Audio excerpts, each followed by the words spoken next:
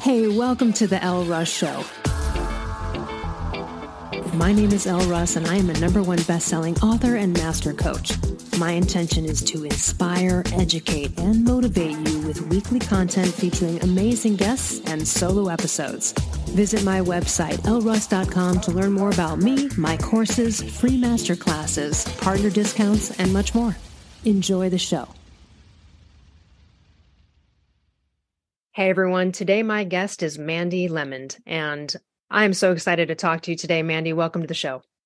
Thank you so much for having me. I've done a little bit of research and, and kind of kicked in and checked you out as I always do, and you are a delight yourself. Oh, you're so sweet. You know, I I, want, I just want to sort of warn everyone right here at the beginning. Mandy's story and her history could could be possibly triggering for, or like maybe a little bit traumatic if there's young kids in the car or something. I don't want to hear about some things that you know happen to people, bad you know, bad things that happen to good people. So just wanted to warn everyone right there off the bat. And I, I do want to just get into your backstory. You know, just your bio. It's um you know it's hard for a lot of people uh it, it, it, was tough for me to read it's something that i commend you for because what you've been through and and the overcoming of it is such proof that anything is possible. But would you mind one more time in your life taking us through the rough story that is your childhood and and life that came after Sure, absolutely. So, um, I, I, was born in Harlan County, Kentucky, and and if you've ever watched uh, Deliverance or any of uh, those old stories of that nature, and you kind of picture the coal mines, I like to paint that picture um, of the coal mines of in Eastern Kentucky. My grandfather uh, was a coal miner, in my family, we were the poor of the poor. I'm talking um, eating soup beans. If you've never had those before, soup beans. And my mother uh, was was not always able to provide for us. We were homeless a lot often. So you have homelessness, and then um, fast forward to June uh, 21st, 1986, the summer solstice it became the longest day of my life. My father, and again, she was correct. There are some, some trigger points here. My father was high on drugs and broke into our second story home. And um, sorry, sometimes this bothers me. Some and, and, and he raped me at seven years old, um, stabbed me over 13 times, and murdered my mother and left us both for dead. So I just want to stop there for a second. And sure. I mean, I, uh, I, I commend you for having to sort of re- relive part of this story again. Um, worst day of your life, no doubt. I'm assuming, um, but it does get a little bit uh, rougher from there. Uh, and I'll talk to you about some of the details, like what happened in that moment when you know after the after effect. But continue on and let us know what happened uh, beyond. Sure, that. sure. And I and I was thankful enough that I did have a I have, a, I have two older sisters. My older sister rushed in the room and tried to save us um, an off-duty police officer heard our screams. So thank you so much for their service and heard our screams and was able to rescue us. Um, my and and here I am. I ended up spending a month in ICU with a collapsed lung and and bleeding and and I died twice on the way to the hospital. But once I recovered, it became very, very clear that no one wanted little Mandy. Um, I was a reminder, as my aunt said, because my family in Kentucky, I'm biracial, and I don't want to bring up the race aspect of it, but that's truly what happened to me. You got to think back. I mean, we still have racial issues now, but back in 1986, you've got a little African American girl whose um, African American dad killed a Caucasian woman in, in, in the mountains of Eastern Kentucky, where coal is king, and where you have um, segregation to a degree that I recall just even as a child um, did just being called some not so nice words even in 1986 in Eastern Kentucky. So No one wanted me, and they sent me to an orphanage, which was um, about two and a half hours away, um, just by myself. So I lived in the orphanage and aged out of the orphanage from the time I was 11. Well, I was I was seven years old and aged out when I was 18. Um, and that aging out, well, if you see any stories about foster kids, there are only two. There's uh, there's a statistics that came out the other day. There are only two percent of foster children who go to college and graduate. So I'm very thankful to say that I did go to uh, Eastern Kentucky University. I graduated with a degree in um, speech communication and communications, and I uh, landed a job at the NBC affiliate there in Lexington, and my life kind of took off from there. Um, but while I was in the orphanage, I mean, people don't talk about this uh, very often, but there there was a lot of abuse that happened, whether it was physical or mental or emotional. That those scars carried through and and just like uh, if you've ever dealt with anybody who's had post traumatic stress disorder, I was diagnosed with everything but the correct diagnosis, which I want to advocate for you to find your correct diagnosis but it truly was PTSD. Like sights and smells would trigger me, and I, I would be on. I was. I. I'll, this is a very true story. I was. I my my ex husband proposed to me at the Vatican in Rome, and I had a meltdown. I mean, I, it's the holiest of holy places. He's he's on one knee and proposes to me, and because it was a triggering moment because there was so much emotion i literally i mean he, we were getting in the getting ready to leave charles de gaulle airport in paris and this guy's like okay listen i don't know if i want to marry you. Let's let's put this on the table. Because nothing had I, I i i so he went from absolutely you know wanting to was it was it the emotion that triggered you yeah. or was about the environment? I got it. It was just it was, it was the emotion the emotion the fact that that i i was you know I, I was scared that this man was going to leave and, and take, you know, you, because all of those thoughts when you grow up in, in foster care kids, or for any of us who've had family members who come in and out of our life and then just yes. go in and out. That was a major, yeah, yes, that was a major concern of mine is that this person would say, just like so many people do for, for kids or for, eh, for people in general and say, Hey, I'm going to be there and I'm going to take care of you. And then it be taken away. And what would happen if that did? Now, mind you, I said all that to say this because that did eventually happen. After 18 years of marriage, we ended up adopting a, a, a little boy from state foster care. Um, and part of my story with that goes back into gun violence. And he reconnected with his biological mother, became addicted to pain pills, and was selling drugs. And here at this time, I want to mind you that we um, in in the state of Kentucky, you know, I, I went from being homeless to a, a landlord of five properties and and um, owning a restaurant, and I literally was at the epitome of my game, driving a a, a G wagon. And um, number one in sales, I went after I left broadcasting. I went into mortgages and became number one in sales for Community Reinvestment Acts in, in, in the state of Kentucky and loan officer. And the next thing I know, this kid that I thought that again PTSD rears its head, and I thought that I was going to love and be able to take care of. I find out that he's high one night on drugs and goes on a gangbang shooting spree. And the problem with that is he shot into the wrong damn house. He ended up this days before Christmas, two years ago, shot into the wrong house. And the bullets, they ended up hitting a then five year old. And that little boy, sorry, was blinded and his mom, and he almost died so the impact, oh, it's horrible. And the impact of that, thinking that my child, my kid who, you know, has been all over the world, has had the best of best, had fallen so far. And, and then you become as a parent, if a parent's listening to this, you you've had those questions. My kid's a drug addict, my kid's an alcoholic, my kid's committing crimes. What did I do wrong? So you start blaming right, or, or, like I used to be in a foster home. I thought I'd be the best foster parent. And now this is yeah. happening. That's always, I'm oh, sure, yeah. in your mind too. Yeah. Oh, absolutely. And I'm, I'm I'm sitting here thinking to myself, what have I done wrong? We've we've you know people will say, oh, you didn't have him in church enough. Actually, we did. We lived across the street from the church. The pastors of the of of, of our church at the time were our family friends. They would come over to chili cook-offs with us. So it wasn't bad. I mean, so it was an internal struggle that Michael, my my son, still had because he was dealing with PTSD that was undiagnosed until he went into the in, in into um into the I guess you could say the the prison system and they helped diagnose him and now he's on medication. But even so, my life literally fell apart at that. Thank you. My life literally fell apart at that moment. I went from having uh, a right, you know, and all of this accolades and everything to finding myself standing on a bridge in Tampa, Florida, getting ready to commit suicide. And and mm-hmm. and I know that can be triggering for folks, but I but and, and then in a, a, chance meeting, call it an angel, call it God, call it your higher self, call it a manifestation. A stranger walked by and said to me, "Don't do that. You know better."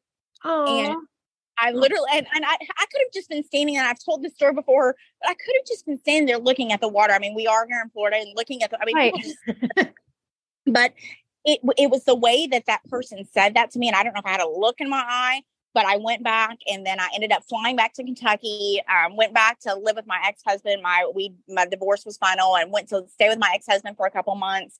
And uh, then I ended up uh, moving to Tampa, Florida um, outside of Tampa, Florida, and splitting time between Kentucky and Florida. But since then, it has I, I've I've written a book, and I've decided that my mess is a message for other folks, of whether it is hope or um, just you know resilience I, I, I did a tv show for a while called resilience live tv i was the tv host of that. And i just want to remind people that your mess is is just whether it whether it is learning how to change the copier you can pass copier paper. You know you're standing there and it's jammed on that monday and you're like okay i gotta get this to a meeting you can learn something out of that nothing you go through is wasted and i love to say that to people but i mean i had a crap show and and things are better now i'm, I'm i um i practice manifestation and mental health healing i lost 130 pounds which is great too because Woo-hoo. i was so, so de- yes queen I was so depressed. I was eating terribly. I wasn't taking care of myself. And your gut, your gut health makes a, a difference in your mental health. And I just am so thankful that I've been able to uh, reinvent myself and uh, to follow this new path. Well, I want to say, you know, you're a perfect example of it, it, happened twice. And I'm really glad that guy caught you on the bridge, right? Because it enabled you to use the tools that you used initially, probably to get through that first traumatic thing. This happened in about 2020 so it's been a few years um how, how, are you doing now do you feel i mean i know there's probably still some stuff going on with the son and in prison and whatnot but how, how are you doing and moving through this second uh landslide you got? I'm going to be honest with you i i had a i i have a feeling in my heart this is and everybody's like 23 is going to be your best year. No i know it is I, I can feel that in my heart i had i played i laid the groundwork over the last you know 18 months of what I'm reaping the benefits of now, whether it's my businesses that have taken off or my public speaking. I do travel and as a motivational speaker and share the story, you know, and there's more details obviously um, that I share in, in those motivational speaking moments. But I I found myself a groove, and just like they say, Stella got her groove back. I, I I hate to admit it. At 43, I finally feel like I am who I was supposed to be a long time ago. I walked in so many folks' shadows and put so many people first and put so many and, and, I didn't love myself. And so many times I find I would, I would eat, and let's just bring it down to even eating and losing weight. I would just eat what I felt like I deserved. Well, what do I really, what did I really deserve? I deserve just the same because that was the way I was brought up. I was brought up to, you know, just take whatever comes your way. But in the truth of the matter is, I deserve better. I deserve to be treated well. And I didn't love myself. And until I did, no one else was treating me that same way. So mm. since then, I have been a yeah, it's been amazing. So LA Weekly um, just named me the number four on person to watch in 2023, which is I saw cool. that. Yeah, yeah. And I, would love to. Um, I want to get into your five, the five method you developed in a minute, mm-hmm. but let's talk. What if someone's listening and they're struggling with similar circumstances or experiences? I mean, maybe not the exact order of which things occurred, but you know, um, what kind of advice do you have for people that may be struggling with these types of things? The I guess I would say the second part, maybe your second landslide, where it's like a son or a family that's you know oh falling because yeah. of this. The the first thing that I tell people when I meet with them, and I and I've, I've have just paid folks reach out to me, whether it's Facebook, Instagram, TikTok, or Twitter, or any of that nature, and I'll, I'll just be honest with them. And what is your do you it goes back to that five plan the first question i always ask people to say is are, are you safe you know ask yourself if you're safe and so many times we're in we are in environments where we aren't safe. And you've seen that meme on on on social media where plants grow where they're watered and and and is it the plant that's not growing because of the environment it's in or is it the plant itself so oftentimes sometimes you have to remove yourself from your environment that you're in and that would be the first thing i would recommend is literally take a moment to yourself go to a hotel if you have a, a chance go sit by yourself and evaluate where you are and where you want to be. And those 30 60 90 day plans i mean I, I i i truly truly believe in goal setting because if you don't have a plan you fail. You truly truly do.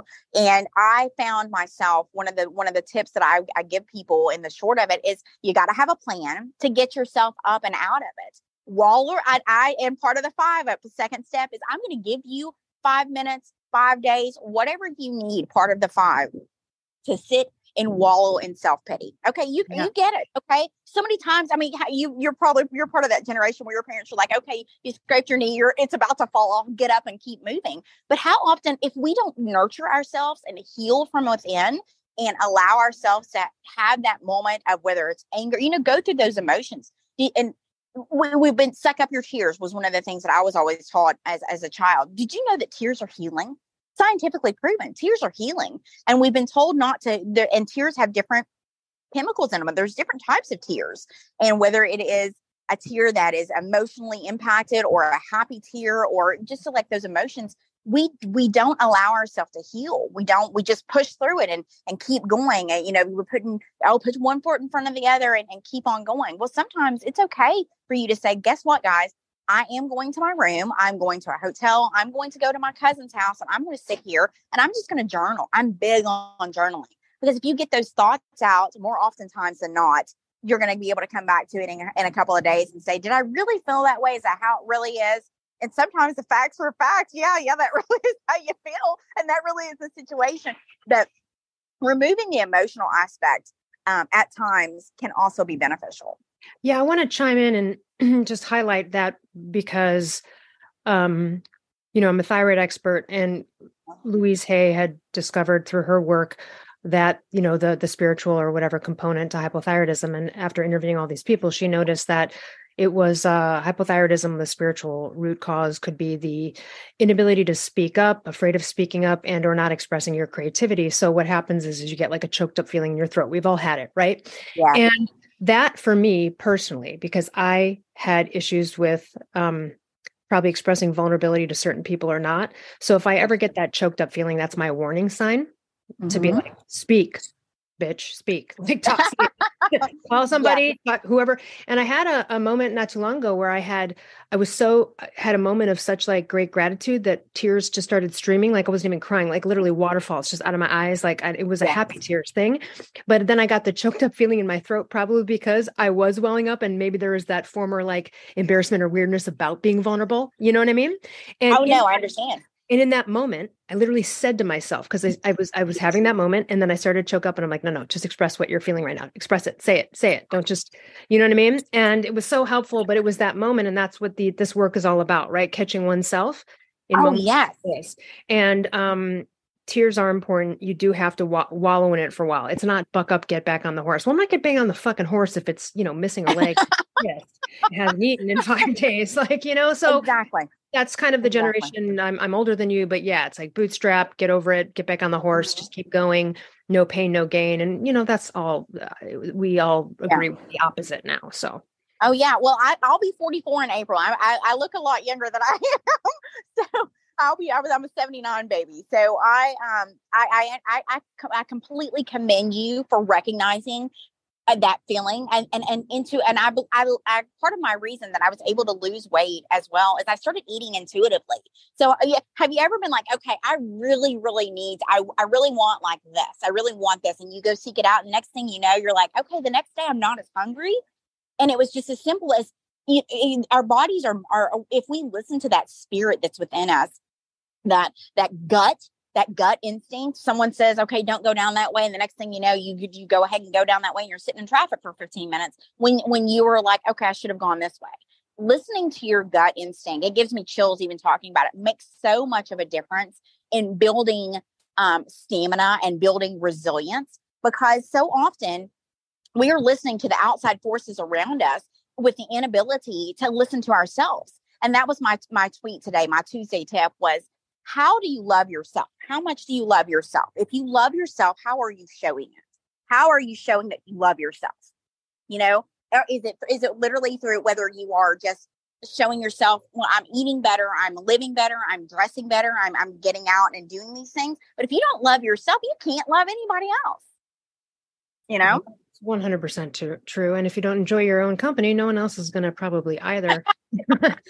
um, that's I, you know must really be i know for me i had to get over and i ended up writing a chapter about it and of course i speak about it um i had to get over uh the shame element in my life. I had a permanent hand disability at the age of 23 and i was very embarrassed about being like less than or perceived as a pro you know I, and it, I could hide it because you couldn't see it so i had all sorts of issues with the shame around it and long story short finally when i sort of like came out about it you know what i mean? Which uh, you know, for everyone holding something like that, it does feel like that. And talking about it uh, over and over, like the first time I talked about it, tough. Second time, third time, now it's just uh, it, it's it's helpful and healing to my experience. And I'm wondering how has your work as a speaker and author helped you heal and cope with your experiences? Well, I, I, like what you said.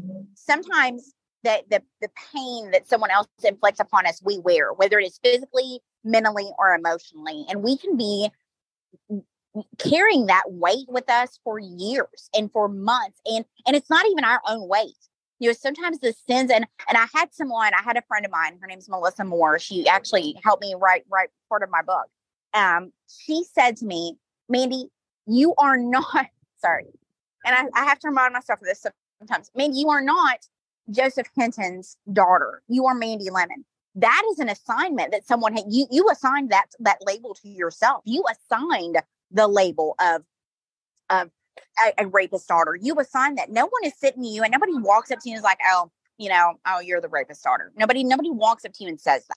Right. You know, but but I was carrying that weight because I assigned it to myself of someone, or for the for you know for the parent. Like that being the main identity of yourself, the main description yes. is having it be yes. like the bullet point ten down below, right? Yes, yes. Instead of and so so many times we wear our labels that other people have placed upon us as our identity, and that becomes how we what walk into a room. You know, how often have you like I, I call it speed dating for friends. So you'll sit down with a friend, and, and within first five minutes of it, I'm one of those people. I can tell you are too.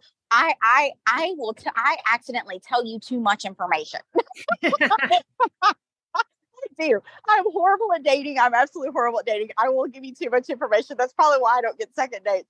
But I'm I'm joking. But I I I find myself in one of those positions where I I carry the I was carrying the label to other people rather than someone getting ready to say, you know, oh, you're you're you're a survivor. You're just Mandy. And and my my my family back in Kentucky was very well known. If you Google us, I mean, we were we kind of were the, the the party crew of Kentucky. But for so long, I carried the label of, and God bless my ex husband, he's a great guy.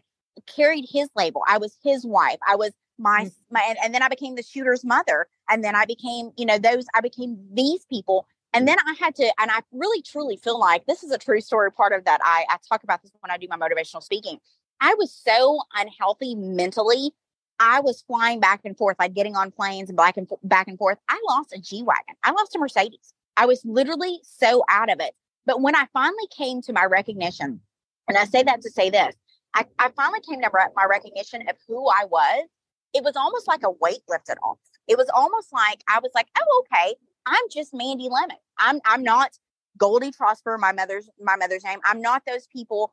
I, I'm, I appreciate the association and I get that, but finding myself and finding my own accolades and being able to get to where I am today just based on my story and based on who I am has been so healing for me because so many times like we I, we carry the labels of other people and I, I I've let go of that.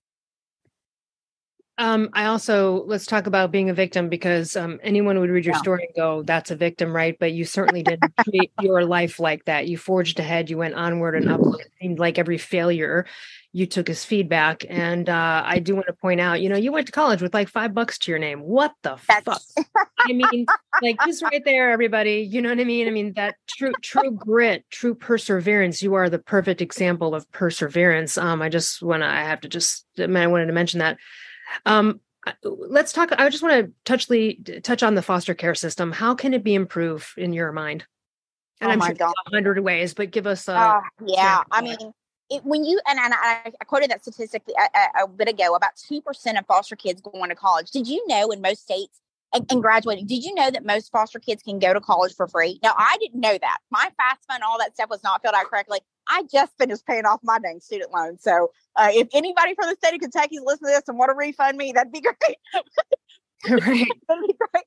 But no, but so but but the education system that there's a prison to foster, there's a foster care to prison pipeline. A lot of foster kids end up getting mugshots before they even have a driver's license picture because they are either not the foster parents who are who are there to help them are not educated to deal with the traumas and trials that they the kids come with and then they just push them out but i feel like the biggest biggest problem that we are seeing is you have foster kids who age out of foster care Okay, so you're age out of foster care at 18. I luckily had five dollars and was able to go to college. But if I hadn't had that five dollars and hadn't had the person in my life who insisted upon me going to college, I would, I mean, the, the statistics of foster kids who are on the streets, who are homeless, who are drug trafficked, who are sex trafficked, is astronomical. There mm. has some legislation put into place very similar to what's overseas that when these kids turn 18 we're we're giving them some, some sort of whether it is a subsidy and and making that and, and getting i worked through three jobs through college i worked three jobs i'm not asking for a handout i'm asking for help because i i, I sent my my ex-husband a text message the other day we were joking back and forth and i was going into surgery and i was like who does a, a divorced orphan call when they're going into surgery so who are these kids calling? They have there's no support system for these kids once we age out of age out of foster care. So you're sitting on the street, you're not going to college, then you're not getting a job because nowadays you have to either have a high school diploma or a college degree to get a, even a decent 25 35000 dollar paid job so you are the american economy and if you look at after covid the amount of people who ended up in foster care the astronomical amount who were left orphaned I mean, we're we've got in, in five to eight years, we're going to have a crisis on our hands in the foster care system because of the way that we are handling it right now, the aging out process. Because there are generations now. A part of my book, The Fostered One, talks about the generations that are in foster care. My my son Michael, his mother was a, uh, was in was in foster care when I met him. My uh, my other son Josiah, his mother, bio mother, was in foster care. So there you have two children. And so and and and now, no offense to Michael, Michael's not going to beat that statistic. He really won't. He didn't graduate from high school. Now right. Josiah will, our other son Josiah will, but the the the thought that we are not doing anything for these foster kids or, or for a lot of our children in general to per, you know who are in low to moderate incomes or even um, in, in that in that that area to help them say, you know, there is a better way. There is a better way, you know, and, and drugs are quick money. And it and, and I and it didn't make sense for me for me to understand why Michael was selling drugs and doing drugs. I mean, we were living in a seven hundred thousand dollar house, and, and this kid had a, a, a check card since he was like 12, 13 years old. But it was uh, there are there are genetics that play a factor, and then there are also people who are just simply predisposed to certain types of behavior because of lineage. I mean, you you've heard you've heard that about the curses in the Bible, and I I the more an epidemiologist has is is looking in with this with me. She's an amazing person, um, and we're we're doing a little research and want to kind of present this eventually and say, hey, listen, this this looks kind of crazy here. Is there something we can do? Is there some is something we can pull back or set a precedence? Or once a kid goes into foster care, um, I have when I do speak to foster parent groups, I have what I call a DoorDash plan for these foster parents instead of going out and buying them the $125 pair of shoes that they don't need, let's put that $125 a month while they're in your care for two years in what I call a DoorDash plan. So that when they do age out and when they right. go away, they'll have some money. And I you can still, idea. yeah, yeah. I mean, and then that's something that that I, I really, really pushed and continued continue to work on. That's amazing. And tell us a little bit. Well, we can go, everyone, we'll put everything in the show notes, but everyone can go to Lemond, L E M O N D dot com. Um, tell us about, can we find your book at your website? Where's the best place to get it? So the book, the book, it will is, sorry, the best place to find the book is on Amazon.com. So that's the best place you can find that. Um, my website, we're revamping it because um, I, I, I can't really delve, delve into too much. What I just I just took a position that is going to marry both not only my um, my uh, love for motivational speaking, but also take me back a little bit to my TV roots, and I'm super super excited about that. So we uh, inked that deal over the last couple of days, so I'm super excited about that. So look look for that too. So. Excellent. Um, is there anything else you'd like to share with our audience before we go? No, I just appreciate you having me on. Um, I love to share my story. If there's anyone, I mean, like you, like you said, my my links will be available. If you ever just need someone to talk to, and this has happened, I've had strangers, literal strangers, just reach out to me via Instagram, TikTok, and say, "Look, I'm having a bad day." Sometimes it's okay to just have someone who is a non-biased entity who is not a therapist who can just sit and listen. And while I am a talker and I will give you some advice, it's okay. I, I will just sit and listen. Believe it or not, I can be still in now. I love it. I'm excited about what you have ahead of you, and I just want to commend you on getting through this, not not staying the victim, forging ahead. Uh, finding meaning and strength in all of these really tough, I mean, the toughest things imaginable in life. And you are just really an amazing example of resilience and perseverance. And I'm just, uh, I think everybody's amazed by you. So thank you so much for sharing your life's work and your story with our audience. Thank you guys. I appreciate you having me. All right, everyone. We'll see you next week. Hey, listeners. You know, over the years, a ton of companies have approached me to collaborate, but I will only promote companies whose products I believe in and that I actually use and consume on a regular basis. So let me tell you about some of my favorite companies that I can offer you discounts for. Rep Provisions, an amazing company doing incredible things for our planet, topsoil, and animals with regenerative agriculture, and it's my number one source for quality pasture raised meat and chicken. Visit repprovisions.com and use code L15 for 15% off. I'm also obsessed with a company called Carnivore Crisps. They make a lean, all natural, and delicious alternative to conventional snacking, made with just real meat and real salt. Totally addictive, and my favorite ones are the beef brisket and the ribeye. Visit carnivorecrisps.com and use code PALEO10 for 10% off. I also love and regularly use Paleo Valley products. They make amazing supplements and delicious paleo products. I use the superfood greens powder, grass fed beef sticks, the organ complex, and their bone broth bars. I love the lemon and apple. I also use their essential C complex and more. Visit paleovalley.com forward slash promos forward slash elleruss for 15% off. I also love Primal Kitchen. They make delicious paleo approved, gluten free, grain free, soy free, and no refined sugar products. And I use them daily, from their collagen powders and sauces and marinades to their avocado and olive oil. So good, so healthy. Visit primalkitchen.com and use code L10 for 10% off. I also love paleo powder and use it almost on everything I cook. They make incredible seasoning blends and they also have these incredible grain free coatings that feel just like crispy breadings that you would have had prior to knowing that there's another way. So visit paleopowder.com and use code L15 for 15% off.